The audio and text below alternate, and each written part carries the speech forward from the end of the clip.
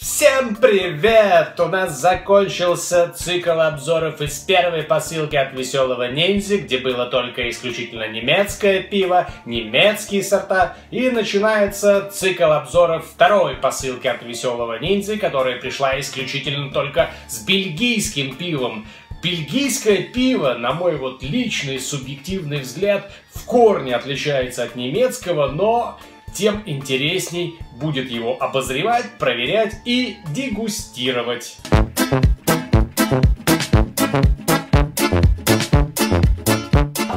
Что примечательно, несмотря на свободу передвижения в пределах Европейского Союза, покупка бельгийского пива, например, в Германии обойдется существенно дороже, нежели приобретение сортов местного разлива. Каждое государство, как говорится, защищает свои собственные интересы. Кстати, а вы знаете, что в одной только Швейцарии с населением всего 8 миллионов человек, что на 4 миллиона меньше, чем в одной только Москве, выпускается более 100 различных сортов пива. Никогда бы вот лично я не подумал, но мы когда-нибудь замутим цикл обзоров с веселым ниндзей только на пиво из страны банков и часов. Поэтому оставайтесь с нами. А сегодня у нас на обзоре порядком заезженное уже на просторах отечественного ютуба бельгийское пиво Grimbergen с двумя его разновидностями. Это блондинистая блондинка Blond Blonde и двойное темное Dubbel Double. Скажу честно, после того, как я увидел официальный сайт пива Grimbergen, я заочно для себя решил, что это пиво такое Diablo в пивной индустрии. Не знаю, все ли наши подписчики играли в эту замечательную игру от компании Blizzard, которая шибко знаменита своими синематическими трейлерами, но как бы то ни было, следующим рекламным роликом с нашим переводом в субтитрах мне хотелось бы пояснить данную параллель.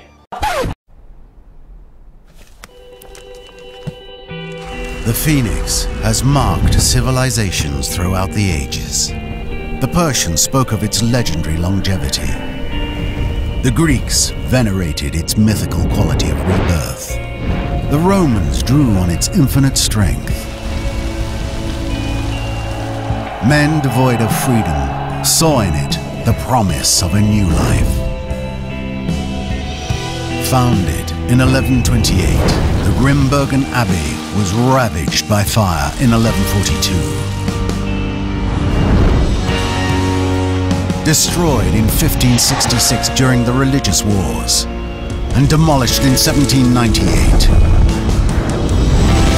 Each time, it was rebuilt.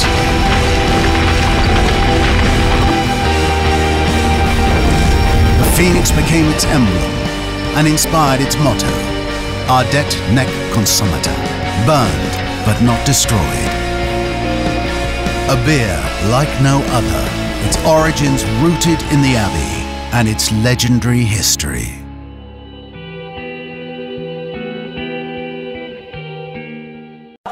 Большинство тех, кто обозревает пиво Гринберген, связывают его происхождение с орденом монахов-премонстрантов. И это действительно так. Монахи ордена славились суровым аскетизмом, могуществом, а также своим пивоваренным искусством. Основателем ордена был довольно-таки знатный мажор, вхожий в императорские круги, имевший приличные доходы от своей должности и отличные перспективы на высокий церковный сан. Звали его Норберт. Как-то раз Норберта переклинило видение, и он проникся своим душевным спасением, отчего добровольно лишился всех богатств и начал бродяжничать по стране, проповедуя людям покаяние. Спустя некоторое время эти же самые простые люди, не дать не взять, причислили Норберта к лику святых. Примерно в 1120 году Норберт с семью последователями пришел на указанное богом место, где и заложил первый монастырь. Ну а дальше пошло-поехало, и уже через 30 лет во Франции и Германии было почти 100 аббатств, монахи которых носили белые одеяния премонстрантского ордена. Спустя 8 лет после основания первого монастыря святым Норбертом Ксантенским в бельгийской деревушке Гримберген, монахи Примонстрантского ордена додумались до варки собственного пива. И даже в наши дни это пиво не утратило связь с аббатством, поскольку монахи плотничком контролируют рецептуру, процесс производства и маркетинговую составляющую. Кроме того, монахи получают проценты с каждого проданного гикалитра – неплохой такой церковный бизнес. Кроме того, Гринберген, благодаря широкому спектру вкусов в различных сортах, позиционирует еще и как пиво, которое хорошо сочетается с едой. Я, признаюсь, не сторонник такого симбиоза, я не люблю запивать пищу пивом. Исключение составляют, пожалуй, только легкие закуски, типа твердого или голубого сыра и сырокопченых колбасок. Конечно же, куда же без них? С рассказом о внешнем виде бутылок у меня теперь будут явные проблемы, поскольку я не понимаю бельгийский. Но с основными моментами, надеюсь, разобраться сумею. Итак, состав у Гримберген Блонд Блонди следующий. Вода, ячменный солод, сахар и хмель. Крепость пива 6,7%. Теперь обратимся к Dubbel Double. В составе Dubbel Double встречаются первые ешечки. Состав у него следующий. Вода, ячменный солод, сахар, хмель и краситель 150С, сахарный коллер 3. На немецкое уже совсем не похоже, не правда ли? Крепостью пива 6,5%. Давайте теперь понаблюдаем за пеной у пива Гримберген. Начнем, пожалуй, с Блонд Блонди. Давайте открывать. Я специально поставил рядом два стакана, чтобы, во-первых, сравнить цвет этого пива, а во-вторых, чтобы на ярком примере понаблюдать за поведением пены у двух этих сортов. Итак, Blond Blonde. Пена порядка 9 сантиметров. Dubbel Double Пена тоже порядка 9 сантиметров при налитии, но вот как мы видим у Blond Blonde она быстренько ушла до примерно 6-5 сантиметров. Давайте засекать, за сколько та и другая пена упадет.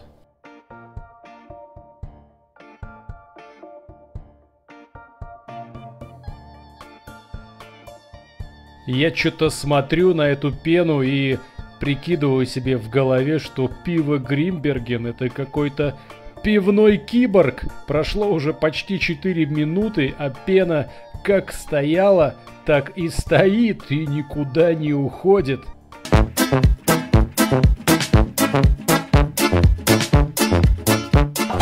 Как вы видели, пена у этих сортов пива держалась более 4 минут. Я прервал запись, поскольку не видел уже мне никакого смысла. Ну, рецептура соблюдена, пена отличная, пена очень хорошая как и по структуре, так и по внешнему виду. Поэтому давайте пробовать блонд блонди Гринберген крепостью 6,7%.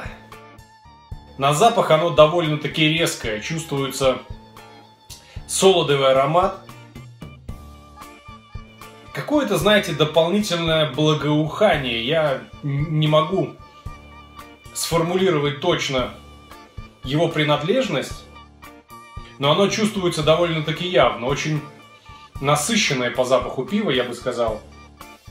Сладковатая, чувствуется сладость. Слушайте, мне нравится, мне нравится. По структуре самой жидкости я могу сказать, что она с низкой карбонизацией, потому что тоже очень вялые пузыречки, которые возносятся к вершине. Ну давайте попробуем, что ли. Слушайте, мне, наверное, стало понятно, почему бельгийское пиво настолько популярно в пивных обзорах на YouTube. Потому что оно реально вкусное. Вот этого пива 6,7% алкоголя. Сейчас все крепкие алкогольные коктейли и, ну, самое крепкое пиво, которое когда-то было 9% России, снизили до 7,7, но пить его невозможно, потому что это полная гадость. А вот это 6,7. Это просто какое-то благоухание вкусов. Вы знаете, вот я смакую ее во рту, и этот Гримберген Блонд Блонди похож на какой-то лимонад с крепостью. Слушайте, это удивительное сочетание, прям. Я, если честно, Гринберген до этого не пил. И то, что я сейчас ощущаю во рту, шикарно, слушайте, шикарно вообще. Очень хорошее послевкусие у него, нет сухости, как у э, многих немецких сортов. И в то же время из-за, видимо, градуса оно согревает. Прям я вообще... Я, если честно, поражен в хорошем смысле этого слова, потому что, ну, реально вкусное, вкусное, ароматное пиво с многообразием оттенков вкуса. Мне очень нравится. Реально, вот я его смакую во рту и чувствуется, как будто это газировочка Буратино с градусом и с горечью на остатке небольшой, легкой, ненавязчивой. Шикарно, нет слов. Монахи-премонстранты – красавцы. Супер! Супер вообще пиво. Мне очень понравилось. На этом, пожалуй, все. С Blond Blonde давайте перейдем к Dubbel Double, к темному. Ну а теперь приступим к Dubbel Double темному. Вы знаете, вот оно постояло какое-то время после того, как я налил и пена спала. Но куски этой пены до сих пор стоят в стакане, и причем они такой плотной структуры, знаете, как будто творожные прям. Как будто можно на них положить монетку, и монетка никуда не провалится. Слушайте, это вообще поразительно. Я небольшой знаток бельгийского пива, потому что я очень люблю и уважаю немецкое, но это будет хороший опыт для меня в первую очередь. Давайте понюхаем, что там интересно. А не пахнет оно практически ничем. Какой-то легкий такой, довольно-таки хмелевой запах. Хмелевой и чуть-чуть сладкий. Больше я ничего не чувствую. Свежий запах, свежий довольно. Ни резкости нет, ничего. Очень мягкий и приятный запах. Давайте попробуем. На цвет оно даже потемнее, чем чай будет. Тоже, я так понимаю, низкой карбонизации, поскольку пузырьков практически нет. Ну, слушайте, несмотря на то, что это пиво Dubbel Double или двойное темное, оно нифига по вкусу не как темное. То есть и плотность у него, как у лагера, и пьется очень легко. Мне это пиво тоже нравится, поскольку после вкуса у него довольно-таки сладкое и необременяющее. Горечь как таковой вообще практически не чувствуется. Она есть, но такая мимолетная, какая-то расслабленная. И быстро пропадает с языка. Слушайте, ну я в восторге вот от этих первых двух сортов бельгийского пива потому что они как-то перевернули мое пивное мировоззрение. Однозначно я сражен этим пивом, потому что... Ну, потому что оно очень вкусное. Если бы такое пиво делалось в России, черт возьми, я бы его покупал каждый день. Правда, конечно, это пиво не, не легкое, оно не на постоянку. То есть, если вы хотите сидеть и смотреть кино, попивать пивко и чем-то его заедать в прикуску, типа пиццы какой-нибудь, вот это пиво вам точно не подойдет, потому что оно настолько глубокое, настолько тонкое, настолько в нем много всего, что его надо пить как отдельный напиток и действительно э, в паре с какими-нибудь блюдами, которые ну, сочетаются, сочетаются. Просто заедать его чипсами или чем-то это не вариант. Не вариант. Респект монахам-премонстрантам и пивоваренной компании Альтен Масс. Насколько я знаю, эта пивоваренная компания очень крупная в Бельгии и одна из самых древних. Вот. Спасибо ей большое за такие вот вкусные сорта пива. Спасибо всем, кто смотрел это видео. С вами был Веселый Панкратс. Подписывайтесь на наш канал, ставьте пальцы вверх. Подписывайтесь на наш паблик ВКонтакте. Там до сих пор идет розыгрыш. Розыгрыш будет идти до 30.04.2016 года.